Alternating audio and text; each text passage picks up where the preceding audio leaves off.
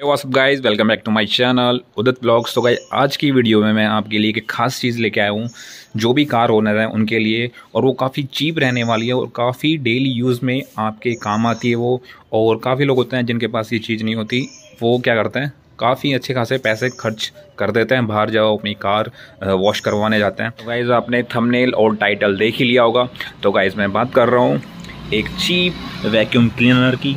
जो कि हर किसी कार ओनर के पास होना चाहिए और ये काफ़ी पोर्टेबल है। रहा वैक्यूम क्लीनर और गाइज़ ये योजो कंपनी के नाम से मिल जाएगा।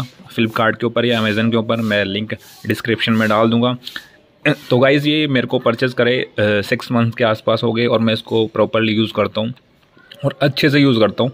तब जाके मैं इसका फीडबैक वीडियो बना रहा हूँ और एक अच्छा बजट के अंदर चीप बजट के अंदर कह सकते हैं आप, आपको ये वैक्यूम क्लीनर रहने वाला है। और गाइस ट्रस्टली मैंने इसको काफ़ी यूज़ करने के बाद ही ये वीडियो बनाने का सोचा, क्योंकि इस प्राइस सेगमेंट के अंदर आपको इससे बढ़िया वैक्यूम क्लीनर नहीं मिलने वाला। तो गाइज़ इसके अंदर आपको, बाकी मैंने इसके अनबॉक्सिंग बहुत पहले कर चुका और यूज़ भी कर चुका सिक्स मंथ हो चुके हैं।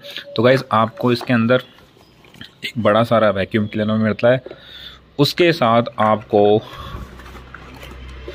ये काफ़ी लेंथी वायर मिलती है, जो फोर मीटर से भी ज़्यादा होगी आई थिंक एंड गाइस साथ में आपको ऐसा कुछ बैग मिल जाता है इसको कैरी करने के लिए। और आपको कंपनी ऐसी कुछ पाइप ऑफ़र करती है इसके साथ। मतलब ये बेसिकली उसके काम में आता है, जैसे कोई सीट के नीचे आपका जहाँ तक हाथ नहीं पहुँच रहा तो आप इसको जॉइंट करके और आगे दूसरी नोज़ल लगा सकते हैं। एंड गाइज़ ये दूसरी नोज़ल मिलती है ऐसी। और एक ये, जिसकी कार के अंदर रैगजिन नहीं बिछी हुई है, जो कंपनी के साथ रैगजिन आती है, आपने नोटिस किया होगा। नीचे की तरफ़ जैसे मैंने यहाँ पे ऐसी कुछ रैगजिन बिछा रखी है आफ्टर मार्केट लेकिन आती है। जो कंपनी के साथ आती है कार के अंदर वैसी रैगजिन हो तो उस केस में आप ये वाली नोजल लगा के इसके अंदर ब्रश टाइप की है तो ऐसे करके आप वैक्यूम यूज़ कर सकते हैं। एंड आपको ये कनेक्टर मिल जाता है मतलब पाइप के आगे कुछ जोड़ना हो। और आगे की नोज़ल चेंज करनी हो, ये आराम मिल जाता है। और ये बिल्कुल बारीक नोज़ल मिल जाती है, जैसे मतलब कोई डैशबोर्ड के अंदर या फिर आप जो बोटल होल्डर होता है आपके, वहाँ तक आपका हाथ नहीं पहुँच पा रहा। या फिर सीट की जो एजेस होती हैं किनारियाँ जहाँ तक हाथ नहीं पहुँच पा रहा आपका तो उसके अंदर ऐसे यूज़ कर सकते हैं इसको इजीली एंड गाइस अभी इसको लगा के चेक करते हैं कि मतलब कितना पावरफुल है और कितना क्या है. मैंने तो चेक कर लिया है और मैं चेक कर रहा हूँ इसको प्रॉपरली और मैं हर दो से तीन दिन में ऐसे जब अंदर इंटीरियर गंदा होता है तो मैं इसको सीधा वैक्यूम यूज़ करता हूँ। ऐसे नहीं कि अंदर की डस्ट मैं किसी और चीज़ साफ़ करता हूँ। मैंने ये रैगजिन बिछा रखी है आफ्टर मार्केट उसके बाद भी मेरा कहीं ना कहीं इंटीरियर गंदा हो जाता है, जबकि मैंने मैटिंग भी लगा रखी है। उसके बाद भी ऐसे जैसे बिल्कुल बारीक डस्ट टाइप की ऐसे, जो साइडों में से चली ही जाती है तो उस केस में मैं कोई कपड़े वपड़े से यूज़ नहीं करता, सीधा वैक्यूम कनेक्ट करा इससे कर लेता हूँ वैक्यूम से, और ये सिर्फ़ दो मिनट के अंदर आपकी पूरी अंदर इंटीरियर है, बिल्कुल साफ़ कर देता है। और आपकी बिल्कुल गंदी गाड़ी हो तो ये तो अच्छी तरह से क्लीन कर देगा। एंड गाइज़ मेरे अकॉर्डिंग ये बेस्ट रहने वाला है इस प्राइस सेगमेंट में। गाइज़ वैक्यूम क्लीनर आने को तो आपको सिक्स हंड्रेड के अंदर भी देखने को मिल जाएगा। और आराम से सेम ऐसे ही रहेगा, ऐसा ही स्ट्रक्चर रहेगा। लेकिन गाइज़ बट जो मेन चीज़ आती है, जो इसके अंदर जो मोटर आती है, जो शक करती है सक्शन पावर होती है, वो इतनी ज़्यादा पावरफुल है, जब आप इसको यूज़ करोगे तो और जब आप कोई भी मतलब डस्ट वगैरह क्लीन कर रहे होगे तो इतनी सक्शन पावर इतनी ज़्यादा है इसकी, ये पीछे की तरफ़ फोर्स करेगी। मतलब ऐसे आपको लगेगा कि आप कुछ क्वालिटी की चीज़ यूज़ कर रहे हैं। आने को तो ये 600 700 के अंदर भी आ जाएगा। ले, लेकिन गाइज़ उनकी मोटर है वो इतनी पावरफुल नहीं होगी इतना शक नहीं करेगी जो भी आपकी डस्ट वगैरह है तो अच्छे से क्लीनिंग कर पाएगी। और ये गाइज़ मेरे को पड़ा था ट्वेल्व हंड्रेड के अप्रोक्स पड़ा था ये और मैं लिंक डिस्क्रिप्शन में डाल दूँगा। तो गाइज़ अभी चेक करते हैं मैं आपको थोड़ा डेमो करके दिखाता हूँ कि कितना ये अच्छे से वर्क करता है और कितनी वायर लेंथ इसकी रहने वाली है। एंड गाइज़ मैं हमेशा ये वाली जो नोज़ल है, ये यूज़ करता हूँ, क्योंकि इससे सारा काम हो जाता है मतलब मैटिंग का भी हो जाता है, और जो भी है, इसको क्या करना है, इसको लेके गाइज़ यहाँ पे फिट करना है, इसके आगे फ्रंट में वैक्यूम के एंड गाइज़ जो ये ऑपरेट होता है, ये वर्क करता है, आपके जो ये सिगरेट लाइटर होता है, या फिर जो फ़ोन चार्जिंग होता है ना प्लग उसके अंदर इसको कनेक्ट करना पड़ता है, ये ट्वेल्व वोल्ट का होता है।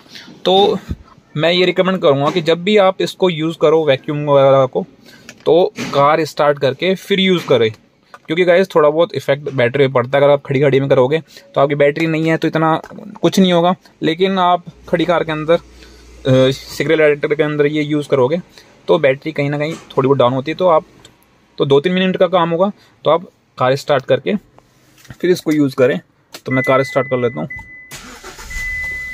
और ये जो चार्जिंग सॉकेट है, यहाँ से हटा के और मैंने ये लगा लिया है। और गाइस तो गाइस मैंने कनेक्ट कर लिया है 12 वोल्ट चार्जर से। अब यहाँ से आपको ऑन करना है। तो गाइज़ ऑन करते आपको फील होगा कि आप अच्छी क्वालिटी की चीज़ यूज़ कर रहे हैं। और ये जब आप इसको क्लीन करोगे अपने इंटीरियर को जैसे ये मैं कर रहा हूँ तो ये जब शक करेगी डस्ट वगैरह शक करेगी तो ये पीछे की तरफ़ फोर्स लगाएगी। मतलब इतनी मतलब अच्छी तरीके से वर्क करती है। तो गाइज़ अभी देखना। ये थोड़ी डस्ट पड़ी हुई है। ये देखो।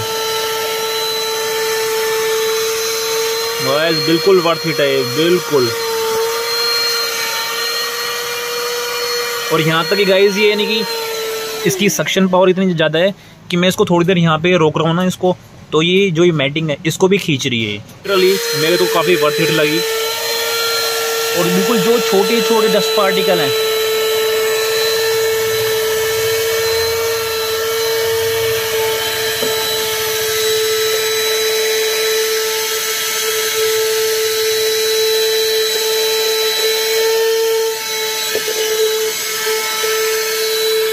तो गाइज़ ये साउंड सुन सकते हो, यानी कि इतनी पावरफुल मशीन है इसकी। एंड गाइज़ मैं इसकी वायर लेंथ दिखा देता हूँ। आप इससे अच्छी खासी एक सीडान और एक अच्छी खासी एस को क्लीन कर सकते हैं इजीली क्योंकि गाइज़ अब देखो, ये मेरी four meter sub four meter की कार है। उसके बाद भी इसकी जो डिग्गी है, उसके यहाँ तक आ रही है। मैं अभी कर देता हूँ कार बंद और इसको हटा लेता हूँ चार्जिंग प्लग से। एंड गाइज़ अब आपको ये जैसे आप क्लीन कर लेते हो अपनी कार उसके बाद आपको इसको जो वैक्यूम क्लीनर है, इसको भी कैसे वॉश करना है मतलब कैसे क्लीन करना है, ये मैं बताता हूँ। यहाँ से आपने नोजल हटाई और यहाँ से आपको पुश बटन दिख जाएगा।